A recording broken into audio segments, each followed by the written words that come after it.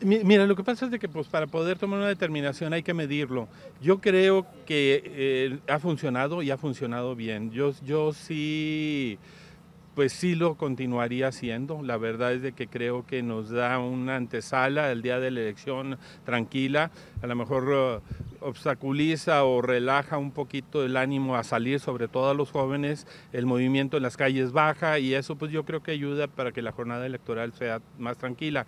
Y obviamente pues la participación sea también importante. ¿Tiene que anteponerse entonces la seguridad, la paz tema económico? Sí, totalmente. Sí, y vaya que soy una persona que sí estoy a favor de incrementar horarios y de situaciones de ese tipo, pero en este caso específico, sin antecedentes, creo que sí vale la pena eh, mantener este tipo de, de acciones.